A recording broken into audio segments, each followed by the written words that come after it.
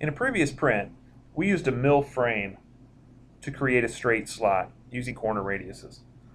We also could have done that same slot using lines and arcs. Either way is an acceptable way of programming a slot. However, in WinMax there's an easier way. There's a block created called slots. This block is specifically for straight and arc shaped slots. When we describe the information necessary to create this slot, we're actually just describing the center of the slot. The first thing it wants to know is what is the shape. This particular one is going to be a line. We're creating the slot at the 3 o'clock position on the picture indicated on the slide. You're then going to use a pattern loop rotate to rotate that feature around the center point to create the other seven necessary slots for this part. It wants to know after the shape, what's the width of the part? It's one inch. What is the starting point in X and Y? The part, the feature lies on the Y-axis center line, but it's two inches over in X. We put our Z start and our Z bottom, which is the final depth of our finished feature. We enter in the tooling information as it asks as well. Now notice that the center, or at the top of this block, we have some tabs. We have the Start tab, Geometry tab, and Caps tab. We've just entered the information for the Start tab. Each one of these tabs is important to the slot. Next, we want to select the Geometry tab.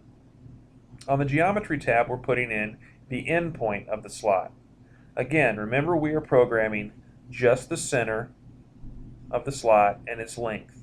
So here we could either put in the XY end value of the slot, or in the case of what we did here, we knew that it was a 5 inch long slot, and then it ran from the starting point to the end point in the zero degree direction as it applies to the Hurco compass. So we put that information in. The tooling information at the bottom hasn't changed. Then we have the caps. Again, we described the center slot, and in many cases we've described the point from the center to center of the two radiuses on the end of a slot. But that is controlled by the Start Cap and End Cap pull-down menus. The three selections that we have would be line. That means I have programmed a slot 5 inches long. It's going to block off the end of the slot with straight lines and thereby pretty much look like a frame. The next option I have is to append an arc. The 5 inch long center line that I have described would have from those endpoints appended arcs on the end of each of the slots. And the final selection would be to include the arcs within that 5 inch length distance. In this case, we're going to append the arc because in the print that we're programming, the center to center distance is what is called out on the slot, and the arcs are appended after beyond that.